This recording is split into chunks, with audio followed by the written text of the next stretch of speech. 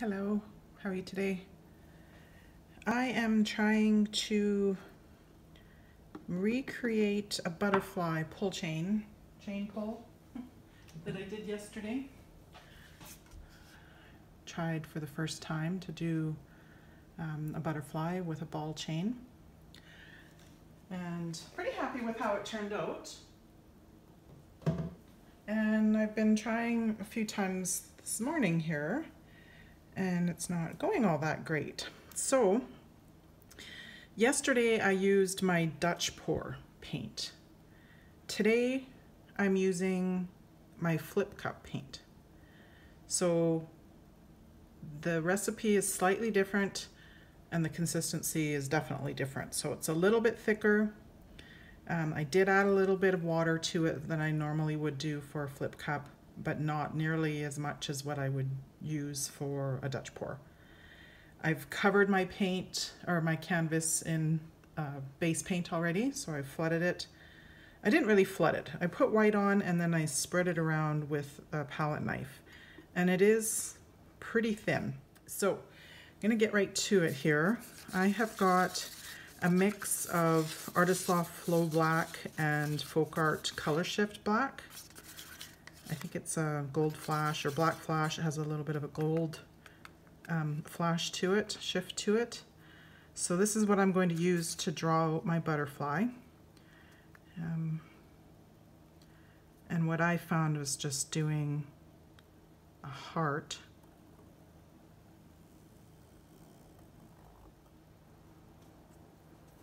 was kind of uh, worked for me.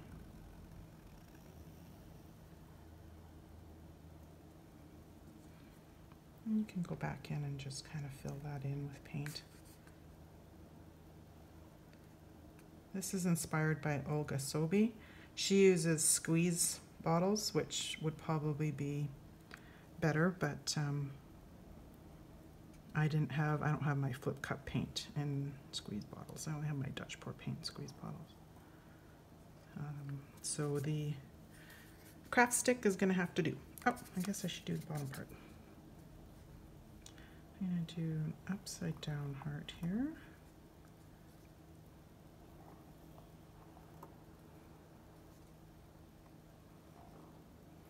So as you can see, I'm not using a lot of a lot of paint that's where I was getting into trouble personally, was using too much paint. Um, when I pulled the chain around, if you're not super careful, it floods over the chain and then just, you know, kind of ruins the picture of it. And then you spend a lot of time soaking up extra paint, which I think you're going to have to do anyway, but this cuts down when you don't go overboard. So this is a mix of uh, Artist Loft Brilliant Purple and DIY Galactic Purple. So it's really pretty and shiny. I'm going to put some on the tips of my wings. I'm going to keep my colors pretty simple today, just to kind of hopefully get some kind of decent results from this I've been struggling with it a bit today. and then this is a mix of Artist Loft Turquoise and Pebeo Blue Iridescent Blue Green.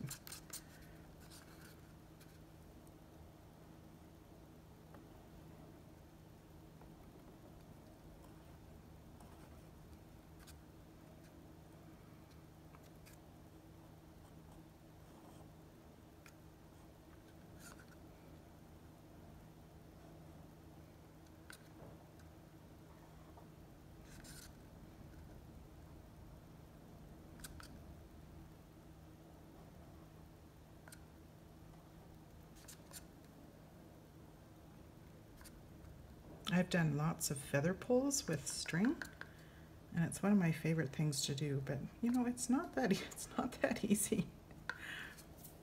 A real tendency for anybody in any technique is to use too much paint. And that's a real problem with just about every single technique. I still use too much paint occasions. And it's definitely easy to use too much paint with this technique, that's for sure. Okay. So I went out and bought a spool of ball chain from Michaels and then I just used uh, some of my jewelry nippers to cut them. This is a 10 by 10 canvas and I cut my chain about 16 inches long. I don't think it needs particularly to be that long, but I'd rather it be too long than too short.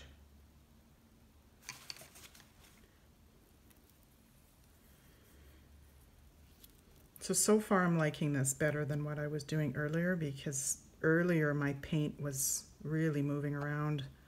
It was migrating, traveling way too far away from where I laid it down. So hopefully this is my solution.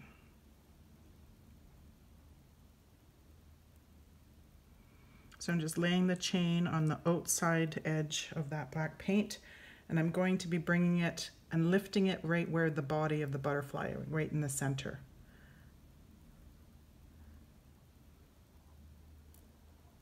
You can use your finger to hold it down if you want.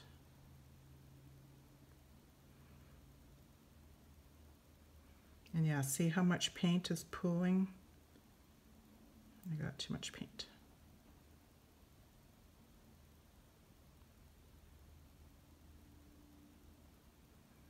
So just go slowly, try to go smoothly. And try not to let that wave of paint go over the edge of the chain. If you can get it to the center like that, then at least you have a chance of soaking it up.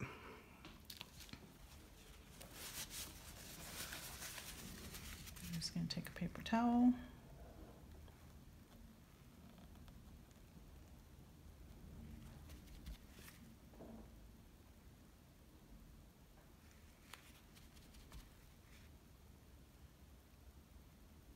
Olga's pretty smart. She uses one of those little syringe things.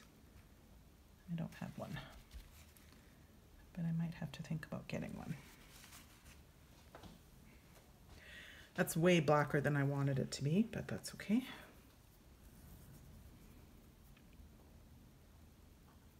Ah.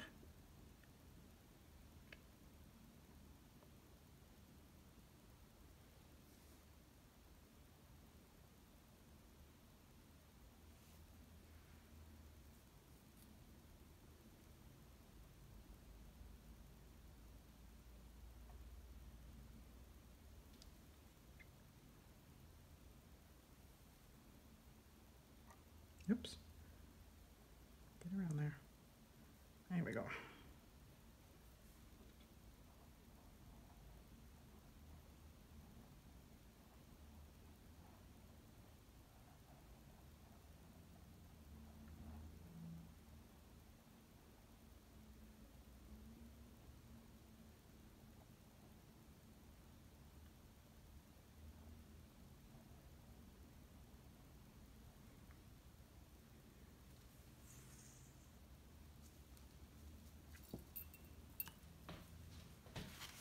that has better color on that one.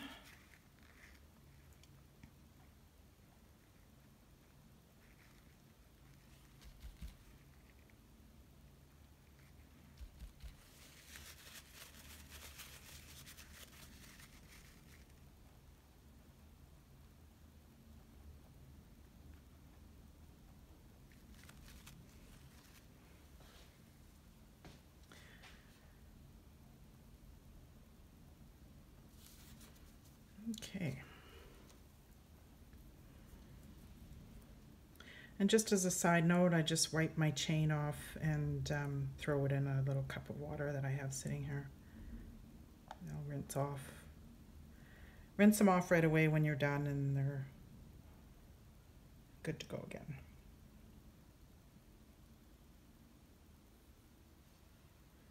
You could buy just a chain necklace ball chain necklace. You don't have to buy the whole spool. You just have to wipe it clean in between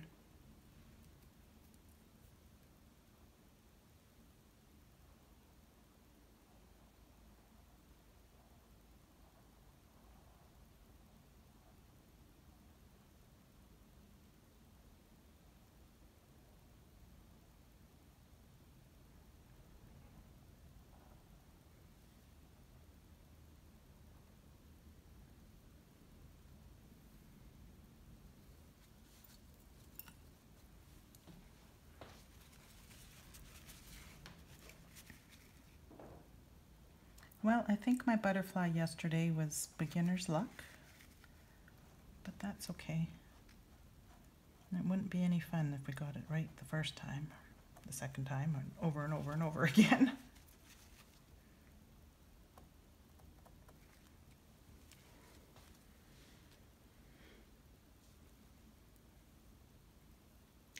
And as far as I'm concerned, there's no such thing as an ugly butterfly.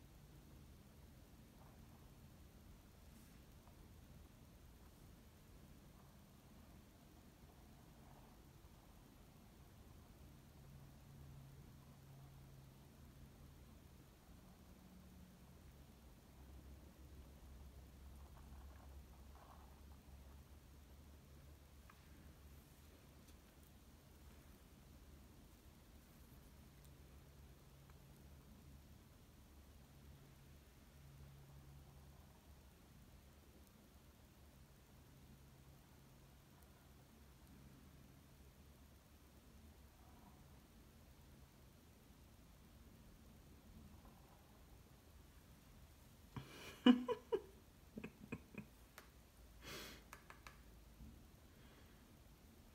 prettiest butterfly in the world.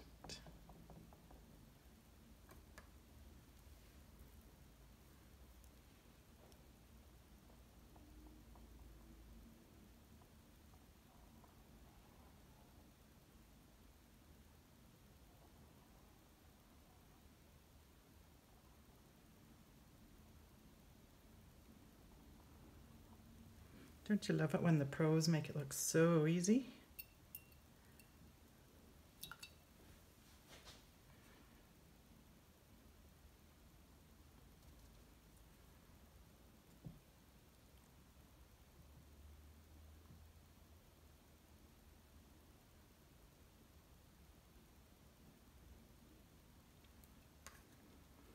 Oh, that was my torch. Sorry about the noise.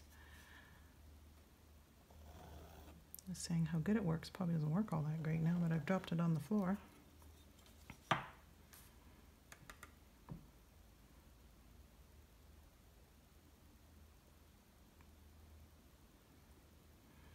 I hope this inspires you to give this a try. Okay, here are the right side up results for you.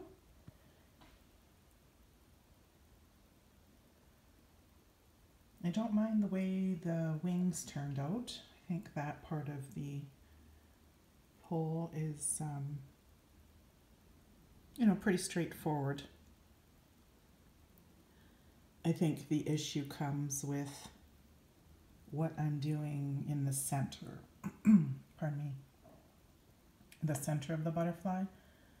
I don't know if I'm still using too much paint or if it's the way that I'm dragging my chain through the end there. I'm, I'm not sure. But I'll keep playing with it and hopefully get uh, moderately better at it.